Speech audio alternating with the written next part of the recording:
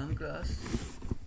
Welcome to the series of lecture Object Oriented Programming, Lecture 3, Part 1, Week 2nd. In this lecture, first of all, we recap the our previous last studied lecture and today we see what is software engineering and OOP, what is UML means Unified Modeling Language and how to apply Unified Modeling Language. In last lecture we have studied encapsulation means it can also be said data binding. Encapsulation is all about binding the data variables and functions together in class. तो basically आपके पास encapsulation क्या है, जो कि हमने last time भी देखा था? इनकेप्सुलेशन बेसिकली आपके पास एक क्लास के अंदर उसके मेंबर ऑब्जेक्ट मींस क्लास की प्रॉपर्टीज़ को मेंबर फ़ंक्शन मींस उसकी यूटिलिटी के साथ बाइंड करना। लेट्स से हमारे पास एक क्लास है जिसका नाम है ह्यूमन अब ह्यूमन की क्लास की प्रॉपर्टीज़ आपके पास क्या है? लेट से मेरे पास फीट है और हैंड है। ये उसके मेंबर ऑब्जेक्ट हैं। अब हम इसको बाइंड जो बाइंडिंग इसकी हम करेंगे इनकेप्सुलेशन इसकी जो हम करेंगे, वो उसके फ़ंक्शन यानी कि उसकी यूजिबिलिटी के साथ करेंगे। अब फीट से हमारी क्या फंक्शनलिटी हो सकती है? वॉक आपके हैंड से क्या हो सकता है? Let's say drive a car drive car या hold anything in your hand तो बेसिकली प्रॉपर्टीज़ को उनकी फंक्शनैलिटी के साथ बाइंड करना, ये आपके पास इनकेप्सुलेशन होता है। Then we see polymorphism it is a feature which lets create function with same name but different arguments which will perform different action that means function with same name but functioning in different ways or it also, also allow us to redefine a function to provide it with completely new definition to summarize the polymorphism polymorphism के अंदर basically हम क्या करते हैं कि एक function को हम मल्टीपल टाइम सेम क्लास के अंदर कॉल कर सकते हैं ये डिफरेंट क्लास के अंदर कॉल कर सकते हैं। इसकी जो हमने लास्ट टाइम एग्जांपल देखी थी, वो आपके पास एक शेप की क्लास थी, जो एक पेरेंट क्लास थी और उसके अंदर जो उसका मेंबर फ़ंक्शन था, आपके पास एरिया का था। जो उसकी सब क्लासेस जिसके अंदर आपके पास रेक्टेंगल थी और आपके पास ट्राइंगल थी।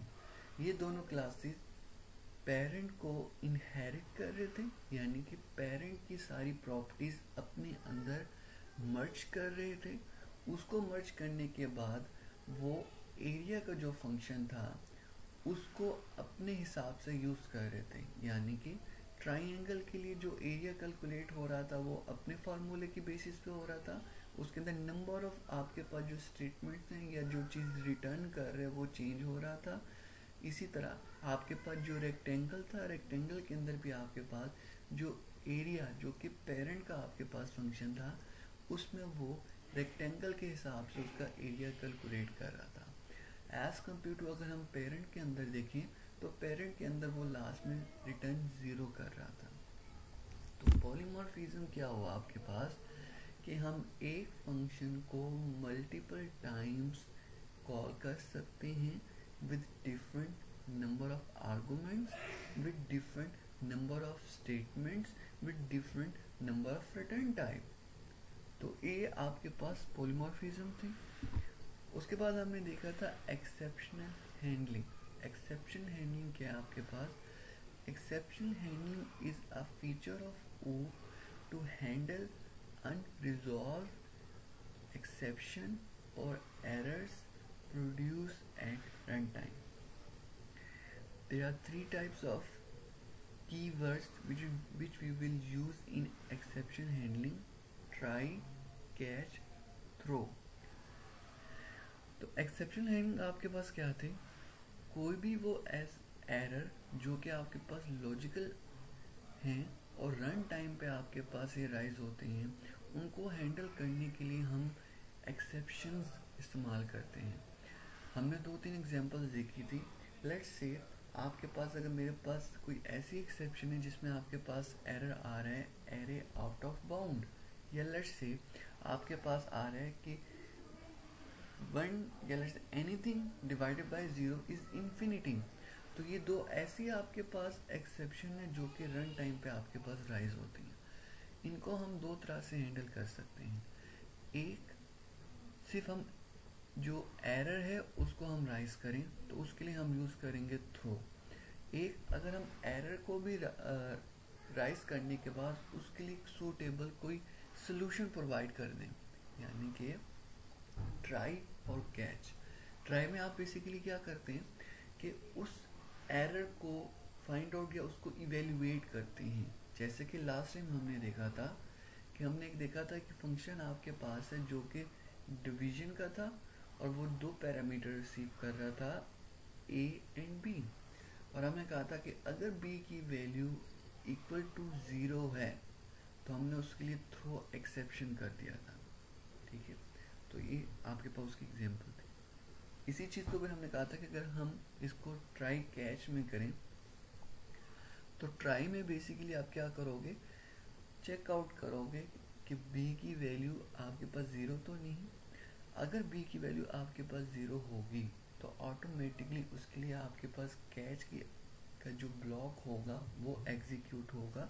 उसमें बेसिकली आपके पास, अगर मैंने सिर्फ़ एक मैसेज डिस्प्ले करवाना है, या लेट से मैंने बी की वैल्यू को रिप्लेस कर देना है वन से, उसका आउटपुट जनरेट कर लेना है, वो भी आपकी हैंडलिंग पे डिपेंड करता है कि आप उसके स्नेरी को कैसे हैंडल कर रही हैं। इसके अलावा हमने ये कहा था कि जो ट्राई कैच है मल्टीपल जो आपके पास एक्सेप्शन हैं, हम उसको हैंडल कर सकते हैं इन सिंगल ट्राई और उसके लिए मल्टीपल जितनी भी एक्सेप्शन होंगी, उनके लिए हम एक कैच को डिनोट करेंगे। उसके बाद हमने देखा था कि what is inheritance inheritance is the capability of one class to acquire properties and characteristics from another class तो बेसिकली आपके पास इनहेरिट इनहेरिटेंस क्या आपके पास कि एक क्लास दूसरी क्लास की प्रॉपर्टीज़ को अपने अंदर मर्ज करेगी। तो इसमें आपके पास कंसेप्ट पेरेंट और चाइल्ड का आ गया था कि जो पेरेंट क्लास होती है, जैसे कि आपके पास शेप है शेप एक पेरेंट क्लास है, जो कि अपनी सारी प्रॉपर्टीज़ को प्रोवाइड करेगा चाइल्ड क्लास को और आपके पास जो रेक्टेंगल है, जो आपके पास ट्राइंगल है ये बेसिकली चाइल्ड क्लास है। देन हमने देखा था what is the advantage and disadvantage of OOP तो फ़र्स्ट वन आपके पास इसका एडवांटेज क्या है? The program written with OOP are really easy to understand OOP approach offers the reusability of classes. We can reuse the classes that are already created without writing them again and again. तो basically आपके पास इसका benefit ये है कि हम multiple time एक ही return code को बार बार कॉल कर सकते हैं रादर देन कि हम उसको अगर कॉमन है तो हर एक क्लास में जाके उसको स्टार्ट से राइट अप करें। डिसएडवांटेज में आपके पास क्या आ रहा है? The size of program develop with OOP is larger than the procedure approach लेकिन इसका एक नेगेटिव पॉइंट आपके पास क्या होता है? कि जो आपके पास साइज़ ऑफ़ प्रोग्राम है, वो आपके पास इंक्रीज हो जाता है। क्यों इंक्रीज होता है? क्लासेस में बेसिकली आप दो चीज़ों को मर्ज कर रहे हो। फ़र्स्ट उस क्लास की प्रॉपर्टीज़ सेकंड उसकी यूजेबिलिटी तो जब हम एक क्लास की प्रॉपर्टीज़ और उसकी यूजबिलिटी को अगर हम एक ही जगह पे डिफाइन करेंगे लेट से मेरे पास पाँच से छः क्लासेस हैं और हर क्लासेस के अंदर मेरे पास minimum three two four properties हैं और थ्री टू फोर उसके मेरे पास मेंबर फ़ंक्शन है। तो ये आपके पास कोड इंक्रीज होता जाएगा। ठीक है? तो ये इसका एक प्रॉब्लम था आपके पास। Now we will start today lecture What is software engineering? Engineering. Software engineering is the process of analyzing user needs and designing, constructing and testing and user application that will satisfy these needs through the use of software programming language. तो basically आपके पास software engineering क्या है? Software engineering basically आपके पास पाँच चीज़ों के ऊपर डिपेंडेंट होती है। फ़र्स्ट ऑफ़ ऑल कि हम किसी भी यूज़र की रिक्वायरमेंट को एनालाइज करते हैं, जिसको हम कहते हैं software specific specific requirement gathering या आप अपकमिंग लेक्चर्स में, या लट से आप अपकमिंग जो आपके सेमेस्टर्स आएँगे, उसमें आप सिर्फ़ सॉफ्टवेयर इंजीनियरिंग पढ़ेंगे। तो वहाँ आप इस चीज़ को डिटेल में देखोगे कि how to analyse user need then how to convert user need in a designing then how to apply the user constraint need into our program and what will what will with the method of testing your develop software तो इसमें basically आपके पास पूरा एक channel होता है कि हम student की स्टार्ट उसकी रिक्वायरमेंट से लेकर उसको कंप्लीट करने तक जो जो आपके पास फेजेस होते हैं, हम उसको अप्लाई करते हैं सॉफ्टवेयर इंजीनियरिंग में। और इन सब चीज़ों को हम एक सॉफ्टवेयर प्रोग्रामिंग लैंग्वेज होती है, जिसके अंदर इन चीज़ों को अप्लाई करते हैं। जैसे कि आपके पास, अगर मैंने ऊप की किसी प्रॉब्लम को रिजॉल्व करना है तो उसके अंदर आपके पास ऊप में किसी भी प्रॉब्लम को रिजॉल्व करने के लिए कुछ पैराडाइम्स होते हैं, जो हम अपकमिंग लेक्चर्स में देखेंगे। इसी तरह सॉफ्टवेयर इंजीनियरिंग के अंदर आपके पास एक प्रोडक्ट को इनिशिएट करने के बाद उसकी डेवलपमेंट तक, उसकी टेस्टिंग तक फेजेस होते हैं। इन फेजेस पे आपके पास वेरिफिकेशंस होती है यूज़र की नीड्स की। तो then what is software product software product basically आपके पास एक डेवलपमेंट है, एक टेस्टिंग है, एक कोड डिज़ाइन है सिस्टम डिज़ाइन है सिस्टम एनालिसिस है आपके पास रिक्वायरमेंट्स है और आपके पास अपडेट्स है। तो ये बेसिकली सारी चीज़ें इसके अंदर सॉफ्टवेयर प्रोडक्ट में आती हैं। लेट्स से अब हम कंपेयर करते हैं what is what is software engineering versus तो बेसिकली आपके पास सॉफ्टवेयर इंजीनियरिंग क्या है? What need to be done who does it when it done अगर हम ऊप में देखें तो what need to be done what classes are responsible for doing it what classes have the job of seeing it done get done तो basically आपको इनका comparison क्या है?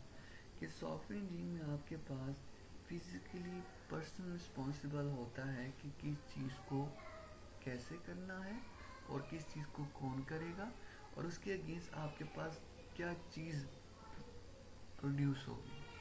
अगर हम इस इस चीज़ को ऊप में देखें तो ऊप में बेसिकली आपके पास, हमने क्या कहा था कि ऊप आपके पास एक ऑब्जेक्ट का फिनोमेना है, या लेट से आपके पास क्लासेस होती हैं, हर चीज़ को हम ऑब्जेक्ट या क्लासेस में क्रिएट में ट्रीट करते हैं। इसमें बेसिकली आपके पास कोई भी जॉब जो डन यूज़र ने परफॉर्म करनी है, उसकी रिस्पॉन्सिबिलिटी होगी कुछ क्लासेस की। और उन जब वो चीज़ें आपकी कंप्लीट हो जाएँगी तो कुछ ऐसे क्लासेस होंगे जो कि आपके पास इसके लिए कोई आउटपुट जनरेट करेंगे कि ये टास्क कंप्लीट हो गया है। Let's say we see what is unified modelling language the unified modelling language is a general purpose developmental modeling language in the field of software engineering. That is intended to provide a standard way to visualize the design of a system. तो basically आपके पास U M L basically एक आपके पास language है, जिसको हम general purpose कहते हैं। ये बेसिकली आपके पास डिवेलपमेंटल और जो मॉडल मॉडलिंग जो होती है किसी भी लैंग्वेज की, उसको यूज़ करते हैं हम in the field of software engineering let's say कि अगर मैंने कोड के अंदर मेरे पास कोई फ़ंक्शन मैंने राइट अप किया है। तो जब हमारे पास जो टॉप लेवल के जो हमारे पर्सन होते हैं, हम उनको कभी भी जाके कोड ओपन करके नहीं बताते क्या इस कोड के अंदर इतनी क्लासेस हैं, इतने फ़ंक्शन हैं, इतने वेरिएबल्स हैं। हम क्या करते हैं, उनको एक प्रिसाइज डायग्राम दिखाते हैं। उस डायग्राम में हम बताते हैं उनको, ये बेसिकली आपके पास क्लास है। इस क्लास के अंदर ये प्रॉपर्टीज़ हैं और इन प्रॉपर्टीज़ के अगेंस्ट इनकी ये यूजिबिलिटी है।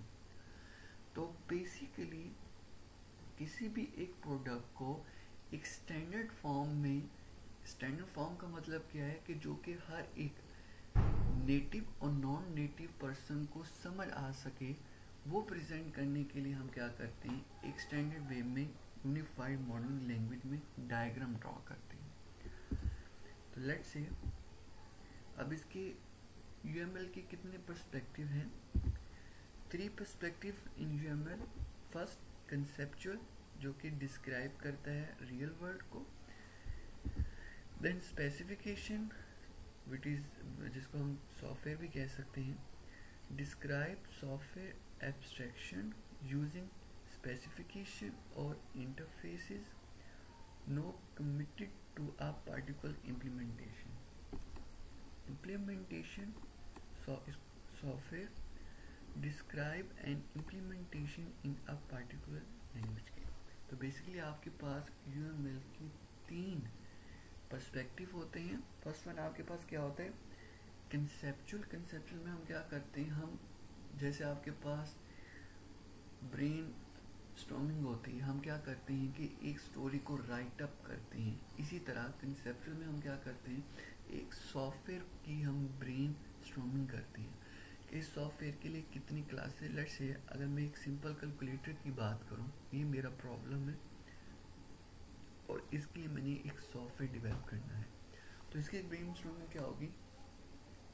कि मेरे पास कितनी क्लासेस चाहिए, उन क्लासेस के अंदर मुझे कितने वेरिएबल चाहिए वेरिएबल के बाद मेरे पास कौन कौन से बेसिक जो कैलकुलेटर है, उसके ऑपरेशन है और कौन कौन से ऑपरेशन आपके पास कितने पैरामीटर रिसीव करते हैं।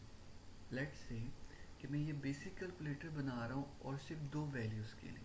यानी कि दो नंबर्स के बीच में वो ये, इन चीज़ों को परफॉर्म करेगा बेसिक ऑपरेशंस को। तो इसके लिए आपके पास number of parameter two two होंगे। अब देन अगर मैं ये स्पेसिफाई करूँ कि ये किन वैल्यूज़ पे वर्कआउट करेगा? होल पे करेगा या पॉइंट्स वैल्यू पे भी कर सकता है? अगर मेरे पास ये अनक्लियर है तो हम क्या करेंगे? हम इसको जनरलाइज करेंगे। तो जनरलाइज में हम क्या करेंगे? इन टाइप रखेंगे या फ्लोट रखेंगे? हम फ्लोट रखेंगे, क्योंकि फ्लोट आपके पास इनके ऊपर भी वर्क वर्कआउट करता है और आपके पास पॉइंट्स पे भी वर्कआउट करता है। अगर मैं इसकी डाटा टाइप इंट रखूँगा तो ये बेसिकली सिर्फ़ होल नंबर पे वर्कआउट करेगा। लेट से अब हम इसको किस तरह से प्रेजेंट करेंगे ड्रॉ करते हुए। कंसेप्चुअल पर्सपेक्टिव में अगर हम करें तो वो बेसिकली आपके पास एक डोमेन का मॉडल होता है।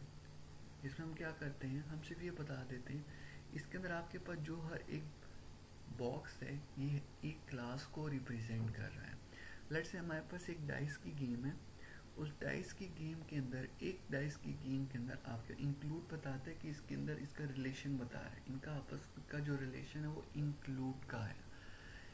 एक डाइस गेम के अंदर दो डाइस होते हैं और उन दो डाइस के ऊपर कोई फेस वैल्यूज़ होती हैं। तो ये एक मेरा कंसेप्चुअल मॉडल है। इसके अंदर मैंने फर्दर कोई डिटेल नहीं बताई कि कितने मेरे पास इस हर एक क्लास की प्रॉपर्टीज़ होंगी। उन क्लास की प्रॉपर्टीज़ के अंगेज मेरे पास कितने फ़ंक्शन होंगे। लेट से अगर हम इसको ज़्यादा ब्रीफली एक्सप्लेन करना चाह रहे हैं तो हम पे स्पेसिफिकेशन और इम्प्लीमेंटेशन पर्सपेक्टिव में जाएँगे, जो कि आपके पास क्ला डिज़ाइन क्लास डायग्राम है।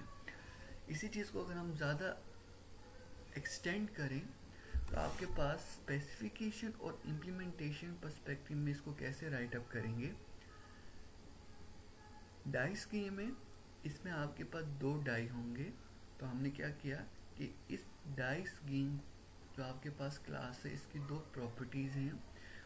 वो कौन कौन सी हैं? डाइस देन इनकी यू, यूटिलिटी क्या आपके पास? इन डाइस को कोई थ्रो करेगा प्लेयर प्ले करने के बाद डाई पे आपके पास क्या आएगा? उनकी कोई फेस वैल्यू होगी जो कि आपके पास इंटीजर होगी। अब मेरे पास जो एक डाई होता है, उसके अंदर आपके पास पॉइंट्स में वैल्यू नहीं होती। उसमें आपके पास वन टू थ्री फोर इनके होल नंबर्स होते हैं होल डॉट्स होते हैं आपके पास। डाइस मीन जो आपके पास हम जो लड्डू वगैरह खेलते हैं, उसमें जो आपके पास नंबरिंग वाला जो एक आपके पास बॉक्स होता है, उसको हम डाइस बोलते हैं। उसके बाद आपके पास डाई के अंदर गेट फेस वैल्यू होगी, जो कि आपके पास इंटीजर टाइप की होगी। और उसके अलावा अगर हम देखें तो हर एक डाइस को रोल करने के लिए आपके पास उसका फ़ंक्शन होगा। ठीक है? तो ये बेसिकली आपके पास क्या है? विद डिटेल डायग्राम जिसको हम कहेंगे डिज़ाइन क्लास डायग्राम तो बेसिकली आपके पास कंसेप्चुअल में हम समराइज बताते हैं। और जो आपके पास स्पेसिफिकेशन और इम्प्लीमेंटेशन जो पर्सपेक्टिव होते हैं, उसमें हम उसकी डिटेल इंफॉर्मेशन प्रोवाइड करते हैं कि इसके अंदर कितनी आपके पास प्रॉपर्टीज़ होंगी किस क्लास की और उसके अगेंस्ट कितने आपके पास मेंबर फ़ंक्शन होंगे। तो कंसेप्शन में हम देखें तो draw U class diagram notation use to visualise real world concept specification और इम्प्लीमेंटेशन में देखें draw UML class diagram notation use to visualise software elements तो इन दोनों में फ़र्क है। कंसेप्चुअल में हम कंसाइज चीज़ें बताते हैं और स्पेसिफिकेशन और इम्प्लीमेंटेशन में हम विद डिटेल बताते हैं। लेट्स me conclude today लेक्चर तो first of all we see software engineer versus O software engineering में हम क्या करते हैं? Who does it as compare to who what classes are responsible for doing it तो दोनों में फ़र्क क्या है कि सॉफ्टवेयर इंजीनियरिंग में हम फ़िज़िकल पर्सन का बताते हैं। इसी चीज़ को ऊप में हम क्लासेस का बताते हैं कि इस जॉब को करने के लिए कौन सी क्लास होगी। Then we see unified modeling language what is unified modeling language? Developmental modeling language in field of software engineering. Then we see how to apply it. Okay class. Thank you. Allah hafiz. Salam class. Welcome to the series of lecture object oriented programming lecture 4 part 2 week today's topics first of all we recap the our previous studied lecture. Then we see use case studies. Then we see what is an agile method and what is analysis and design. In previous lecture we studied what is software engineering what is software engineering what need to be done? Who does it? When it when is it done? Who? what need to be done? What classes are responsible for doing it? What classes have the job of seeing it gets done? तो basically आपके पास software दोबारा आपको मैं recap कर रहा हूँ कि सॉफ्टवेयर इंजीनियरिंग के अंदर आपके पास फ़िज़िकल पर्सनल रिस्पॉन्सिबल होता है किसी जॉब को करने के लिए। जबकि ऊप के अंदर आपके पास वही चीज़, उसी सिनेरियो को फुलफ़िल करने के लिए आपके पास क्लासेस होती हैं, जो कि एक ख़ास टास्क को परफॉर्म कर रही होती हैं। ऐसा नहीं हो सकता कि मेरे पास दो क्लासेस सेम टास्क परफॉर्म करें एट अ टाइम उसके बाद आपके पास अगर कोई टास्क कंप्लीट हो गया है किसी क्लास के अंदर तो उसके आपके पास क्लासेस होंगी जो कि इस चीज़ को शो करेंगी कि ये टास्क कंप्लीट हो गया है। इसी चीज़ को अगर हम सॉफ्टवेयर इंजीनियरिंग में देखें तो वो पर्सन इस चीज़ को इंडिकेट करेगा कि ये टास्क कंप्लीट हो गया है और ये इस पर्सन ने किया है।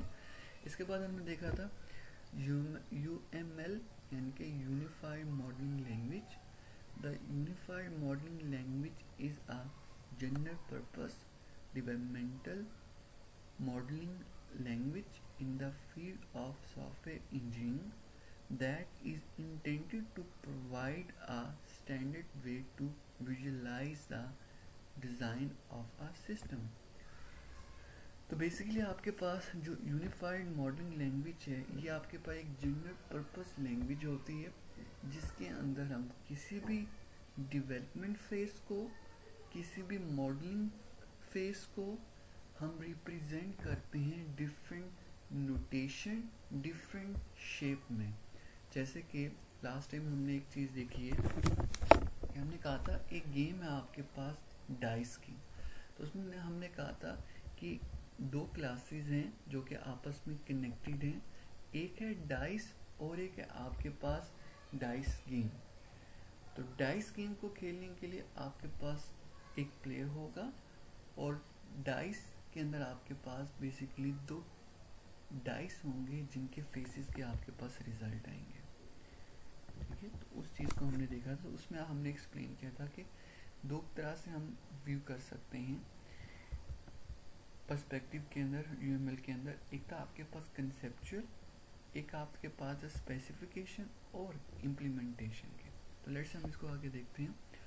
How to apply U M L then perspective in applying U M L three, perspective in UML conceptual, describe the real world. Specification describe software abstraction using specification or interfaces? No commit to a particular implementation. Implementation describe and implementation in a particular language. Let's uh, we will go to the lecture. What is use case in software and system engineering a use case is a list of action or event step typically defining the interaction between a role known in the unified modeling language as an actor and a system to achieve a goal. The actor can be human or other external system के। तो use cases basically आपके पास क्या होता है? एक ऐसी diagram जिसके अंदर हम लिस्ट ऑफ़ एक्शन यानी कि लेट्स से मेरे पास एक सिंपल सा सिनेरियो है कि मैं किसी यूज़र से दो वैल्यू रिसीव कर रहा हूँ और उनको मैं सम अप कर रहा हूँ। मेरे पास इसमें टोटल एक्शन कितने होंगे? एक एक्शन आपके पास क्या होगा? गेट वैल्यू फ्रॉम यूज़र एक दूसरा एक्शन आपके पास क्या होगा? एडिशन का, जो कि इनको एड अप करेगा। अब इसमें आपके पास ये लिस्ट ऑफ़ एक्शन आ गई। अब रोल क्या हो गया? या एक्टर क्या होगा इसके अंदर? एक्टर आपके पास एक यूज़र होगा जो कि कीबोर्ड से उस वैल्यू को इंटर करेगा। या इसके अलावा यूज़र भी हो सकता है या आपके पास कोई ऐसी फ़ाइल जिसके अंदर आपने वैल्यूज़ को स्टोर किया हुआ है। तो इसलिए वो आपको क्या कह रहे हैं कि जो एक्टर आपके पास होंगे, वो आपके पास या तो ह्यूमन भी हो सकते हैं और आपके पास वो कोई एक्सटेंडर सिस्टम होते हैं। तो इसके आपके पास एक वे होता है कि अगर हमने यूज़ अपने सॉफ्टवेयर के कोई भी आपके पास सिनेरियो जिसको आपने रिप्रेजेंट करना है तो हम उसको किस तरह से राइटअप करेंगे? तो आपके पास इसमें लिस्ट ऑफ़ एक्शन होता है, जो आपने सारे परफॉर्म करने होते हैं किसी भी गोल को अचीव करने के लिए देन उन गोल को इनिशिएट या उनके बीच में डाटा जो शफल करने वो कौन करेगा? एक्टर होगा। और एक्टर बेसिकली आपके पास दो तरह के हो सकते हैं। या तो कोई ह्यूमन होगा, या आपके पास कोई एक्सटर्नल सिस्टम होगा। ठीक है? लेट्स से अब आपके पास एक ही यूज़ केस है किसका? पासवर्ड वेरिफिकेशन का। अब यूज़ केस डायग्राम में हम इसको कैसे राइट अप करेंगे? तो आपके पास इसमें जो एक्टर है वो क्या इस टाइम यूज़र और आपके पास जो लिस्ट ऑफ़ एक्शन है या आपके पास लिस्ट ऑफ़ जो इवेंट्स है वो क्या है आपके पास? एक ही है। वेरीफाई पासवर्ड देन जब वो इस चीज़ को वेरीफाई करेगा तो आपके पास क्या होगा? उसको एक्सेस मिल जाएगी उसके डेटाबेस की। तो आपके पास ये एक एग्जांपल है कि हमने किस तरह से रिप्रेजेंट करना है किसी भी केस सिनेरियो को यूज़ केस डायग्राम के अंदर। ठीक है? तो आपके पास यहाँ पे यूज़र एक एक्टर है। लिस्ट ऑफ़ आपके पास इवेंट सिर्फ़ एक है। वेरीफाई पासवर्ड और आपके पास ये वेरीफाई पासवर्ड का एक सिस्टम है। उसके बाद इसको वेरीफाई करने के बाद इसको क्या मिलेगा? पासवर्ड जो वेरीफाई हो जाएगा तो उसको डेटाबेस की एक्सेस मिलेगी। ठीक है?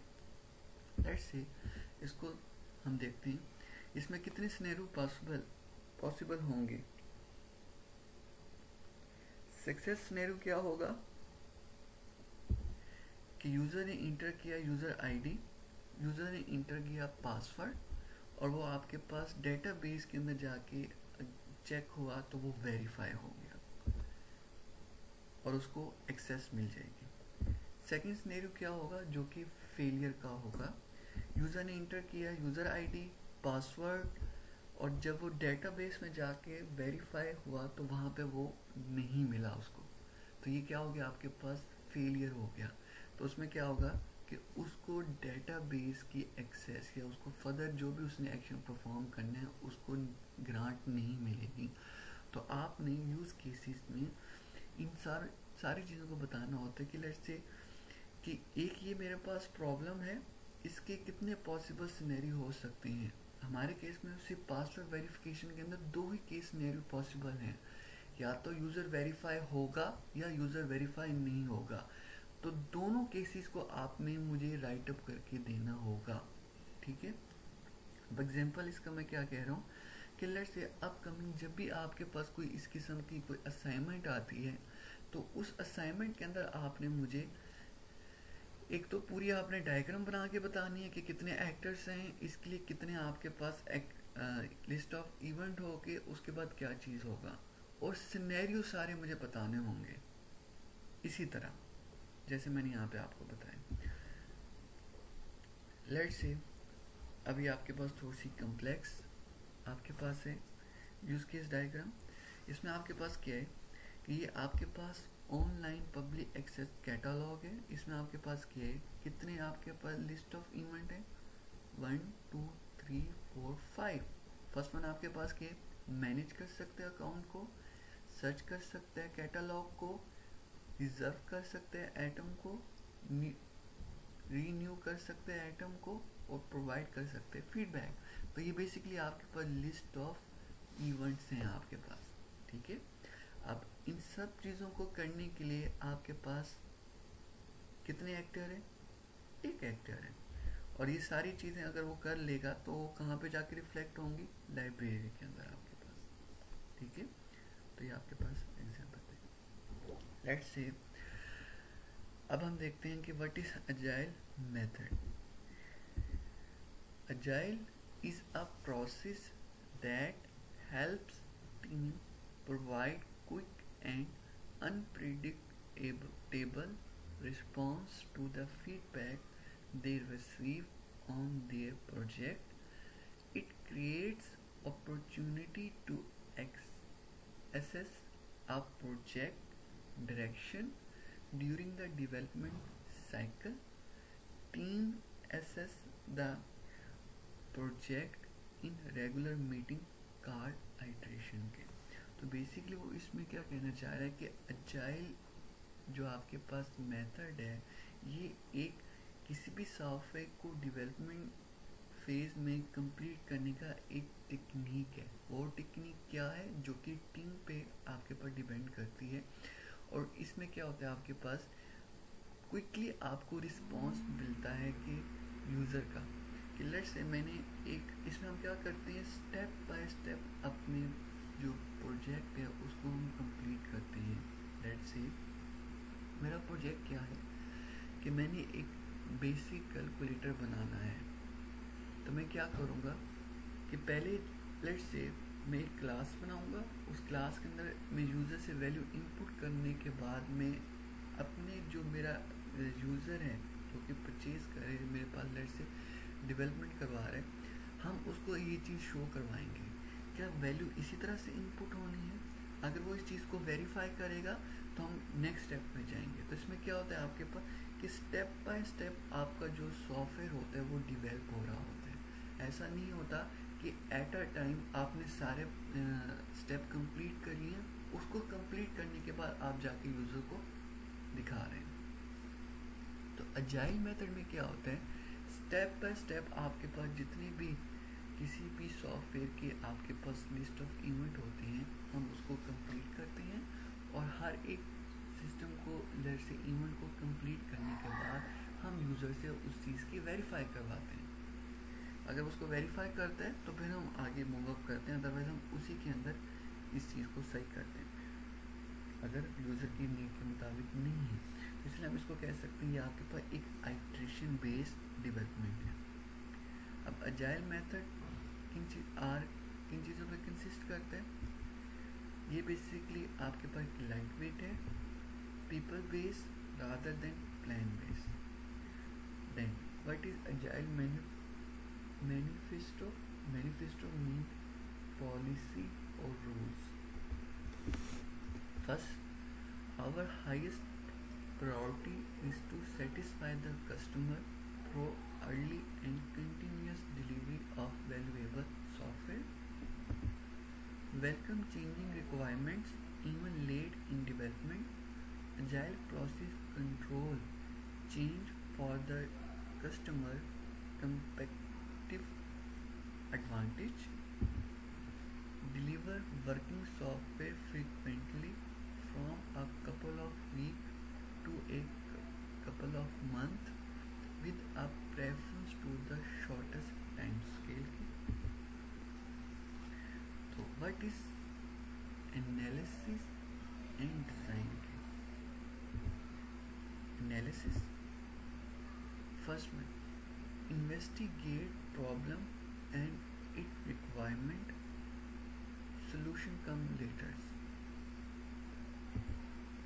ask and answer questions example dice game some question for example how the user will interact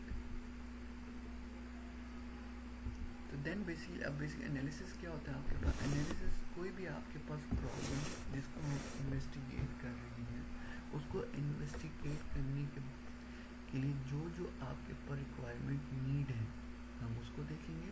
और जो उसके अगेन जो सोल्यूशन आएँगे वो आपके पास कम लेटर जो कि आपको कहाँ से मिलेंगे? क्वेश्चन जो आप उनको कहोगे, उनके आंसर से।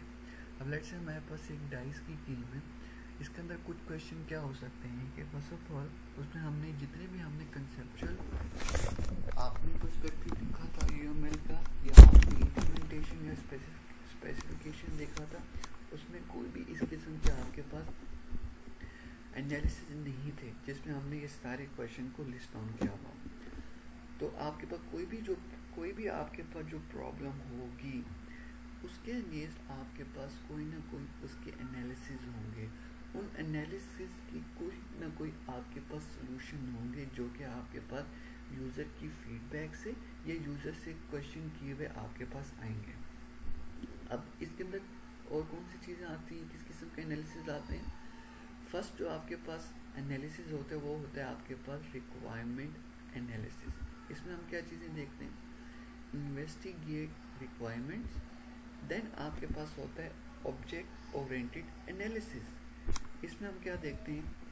Investigate object use in and by domain तो ऑब्जेक्ट एनालिसिस जब भी आपके पास होंगे, उसमें बेसिकली आप इस चीज़ को एनालाइज करोगे कि इस प्रॉब्लम के अंगेंस्ट कितनी क्लासेस होंगी, उन क्लासेस के अंदर हर एक क्लास के कितने आपके पास मेंबर ऑब्जेक्ट या उसकी प्रॉपर्टीज़ होंगी और उन प्रॉपर्टीज़ के लिए कितने उनके मेंबर फ़ंक्शन या उनको यूज़ करने वाले फ़ंक्शन होंगे?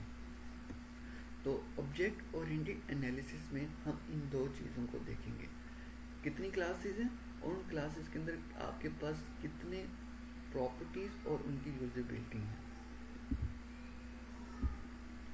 डिज़ाइन आपके पास क्या है? A conceptual solution that fulfil requirement exclude implementation detail, not an implementation. Example, sequence diagram of a given requirement. तो बेसिकली आपके पास डिज़ाइन क्या होता है? हम डिज़ाइन में क्या करते हैं? वर्ड ही आपको बता रहे हैं कि हम किसी प्रॉब्लम के लिए एक डिज़ाइन बनाते हैं, उसका सलूशन लेकिन उसकी डिज़ाइन की तरह आपके पास कम्प्लीटली उसकी प्रॉ उसकी सारी डिटेल नहीं होती। यानी कि मैं डिज़ाइन में ये बना सकता हूँ कि मेरे पास एक क्लास होगी, उसकी दूसरी क्लास के साथ इंटरेक्शन होगी। इन दोनों क्लासेस में कितनी आपके पास हर एक क्लास की प्रॉपर्टीज़ होंगी, कितने आपके पास मेंबर फ़ंक्शन होंगे, ये हम सब चीज़ें वहाँ पे डिनोट नहीं करेंगे। क्योंकि कंसेप्चुअल सोल्यूशन में हम उसको सिमराइज फॉर्म में डिनोट करते हैं रादर देन कि हम उसकी कंप्लीट डिटेल बताएँ। और इसके लिए हम कौन सी डायग्राम यूज़ करते होते हैं? सीक्वेंस डायग्राम अब how object collaborate to fulfil the requirement इसमें हम ये चीज़ देखते हैं। अब सीक्वेंस डायग्राम होती हैं आपके पास और क्लास टाइम क्लास डायग्राम होते हैं आपके पास। क्लासेस जो आपके पास डायग्राम होते हैं, हम उसको स्टैटिक व्यू भी कह सकते हैं। तो इन दो किस्म की डायग्राम्स को हम ड्रॉ करते हुए किसी भी डिज़ाइन को रिप्रेजेंट कर सकते हैं। तो लेट्स अब आपके पास क्या है? एक आपके पास प्रॉब्लम है प्लेन की। अब प्लेन की प्रॉब्लम है आपके पास अगर हम इसको विजुलाइज करें कंसेप्चुअल डोमेन के अंदर तो सिंपल है, आपके पास एक क्लास बनेगी प्लेन की, उसके अंदर आपके पास क्या होगा? एक टेल नंबर होगा। आपके पास जितनी भी प्लेन्स होते हैं, उनकी जो टेल नंबर होती है, वो यूनिक होती है। या हम कह सकते हैं कि वो आपके पास कभी भी मैच नहीं होगी किसी भी प्लेन की टेल के साथ। अब लेट से डोमेन मेरे पास क्या है? डोमेन कंसेप्ट मेरे पास क्या है? एक प्लेन का। अगर उसको विजुलाइज करूँ तो ये आपके पास टेल नंबर होगा। अगर हम इसको रिप्रेजेंट करूँ ऑब्जेक्ट ओरिएंटेड प्रोग्रामिंग के अंदर तो आपके पास इस तरह से पब्लिक की क्लास बनेगी प्लेन की। उसके अंदर आपके पास ये जो प्राइवेट है इसका क्या है? एक्सेस स्पेसिफायर है। किस टाइप का है? स्ट्रिंग का है। उसका नाम क्या है? टेल नंबर और ये आपके पास क्या है उसका? ये उसका आपके पास मेंबर फ़ंक्शन है, जो क्या कर रहे हैं? उस प्लेन की हिस्ट्री को रिप्रेजेंट कर रहे हैं। और जो ये आपके पास मेंबर फ़ंक्शन ये किस टाइप का आपके पास? विदाउट पैरामीटराइज ठीक है? और इसका जो एक्सेस स्पेसिफायर वो क्या है? पब्लिक है आपके पास। ठीक है? तो लेट्स से अब हम देखते हैं कि what is class diagram and sequence diagram a class diagram show a set of classes interfaces, and their relationship and illustrate the static design view of a system. तो ये बेसिकली जो class time diagram होती है, उसमें हम basically class set जितनी classes होती हैं, उनको रिप्रेजेंट करते हैं इंटरफेसेस को करते हैं और सारी क्लासेस के आपस में जो रिलेशनशिप है, हम उसको देख रहे हैं। अब हर एक क्लास के बीच में डिफरेंट टाइप का रिलेशनशिप होगा। रिलेशनशिप क्या होता है? इसकी कितनी टाइप्स होती हैं? हम इसको अपकमिंग लेक्चर्स में देखेंगे। बस आपने यहाँ पे इस चीज़ को याद रखना है कि जितनी भी क्लासेस होंगी क्लास डायग्राम के अंदर उनका आपस में कोई ना कोई रिलेशन होगा। सीक्वेंस डायग्राम हम देखें। Sequence diagram show the sequence of action that occur in a system and illustrate the dynamic view of a system तो जो आपके पास सीक्वेंस डायग्राम होती है बेसिकली सीक्वेंस ऑफ़ एक्शन होता है। कि अगर मैंने दो नंबर को ऐड करना है तो उसमें क्या क्या स्टेप्स होंगे? पहला स्टेप क्या होगा? यूज़र से वैल्यू गेट करना। सेकंड स्टेप क्या होगा? कि उनको एडअप करने के लिए एक आपके पास मेंबर फ़ंक्शन होना चाहिए। और अगर इसी चीज़ को मैं क्लास डायग्राम में देखूँ तो मेरे पास एक, एक क्लास होगी कैलकुलेटर की। उसके अंदर सिर्फ़ आपके पास ये क्लास के जो आपके पास ऑब्जेक्ट होंगे सिर्फ़ वही होंगे लेट्स से अब हम एक शॉर्ट एग्जांपल देखते हैं, इस पूरी एग्जांपल को हम क्लास डायग्राम में कैसे राइट अप करना है और यूज़ केस डायग्राम पे या सीक्वेंस डायग्राम में इसको कैसे राइट अप करना है, हम उसको देखते हैं। हमारे पास एग्जांपल क्या है? डाइस वहीं आपके पास डाइस की गेम की एग्ज़ाम्पल है।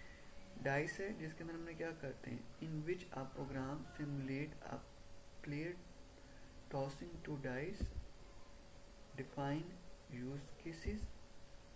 These are user scenario, story, or goals. Play a dice game use case अब अगर मैंने गेम को प्ले करना है डाइस उसका यूज़ केस क्या होगा? Player required a roll of a two dice जो कि आपके पास एक सिस्टम है। Present result if the shows 7 player win.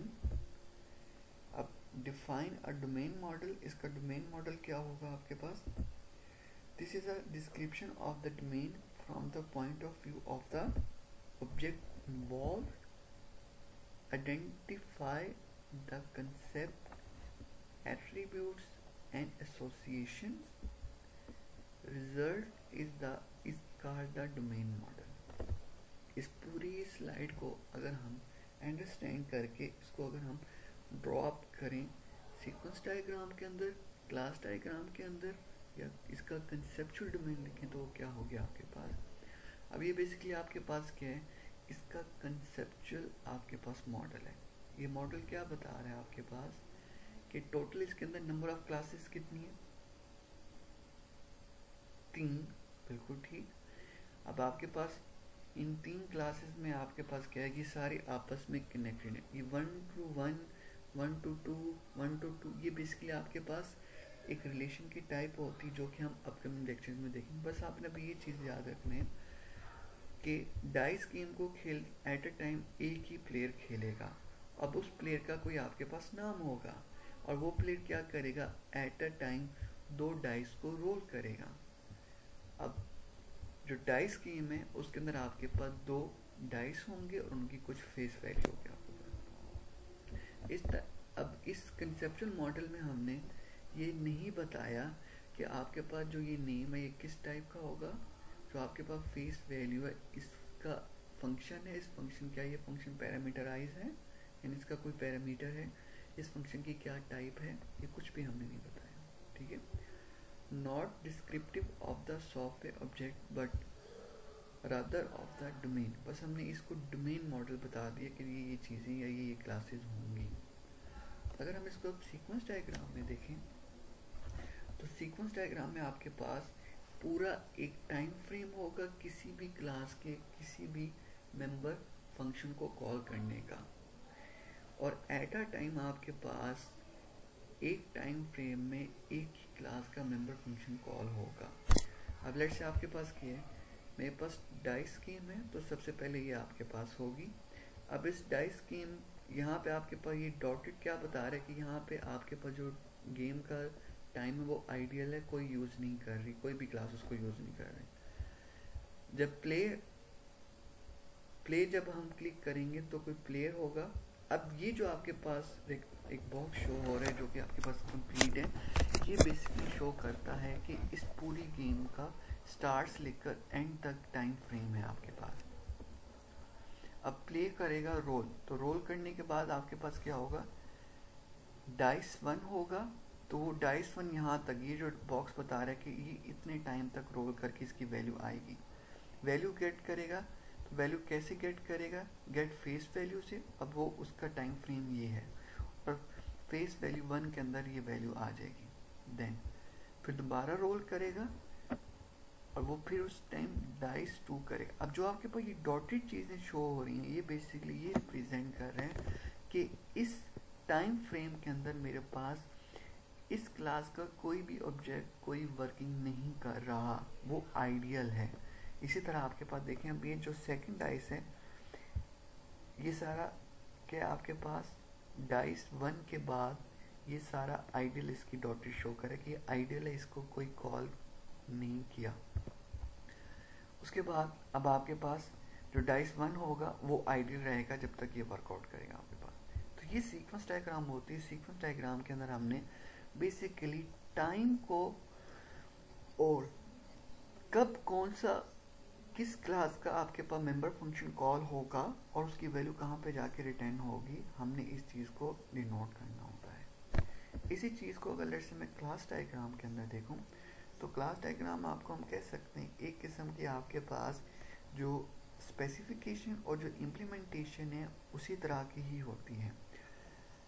तो डाइस गेम है, दो डाई होंगे इसके अंदर, और उसके बाद आपके पास प्ले होगा, फिर आपके पास हर एक डाइस की आपके पास फेस वैल्यू होगी, और इस फेस वैल्यू को गेट करने के लिए आपके पास एक मेंबर फ़ंक्शन होगा, जिसका नाम होगा गेट फेस वैल्यू जो कि रिटर्न टाइप का होगा और उसकी जो रिटर्न टाइप होगी वो आपके पास इंटीजर होगी। इसके अलावा आपके पास इसका एक रोल का फ़ंक्शन होगा जो कि डाइस को रोल करेगा।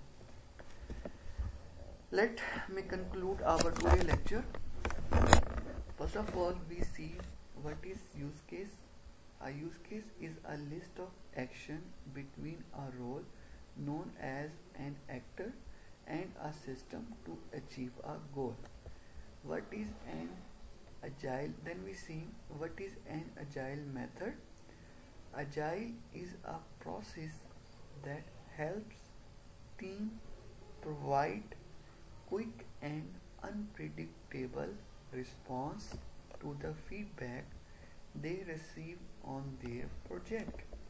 Then we see what is analysis and design और इन दो चीज़ों के अंदर हमने देखा था कि बेसिकली क्लासेस एक सीक्वेंस डायग्राम देखी थी हमने और एक हमने क्लास डायग्राम देखी थी।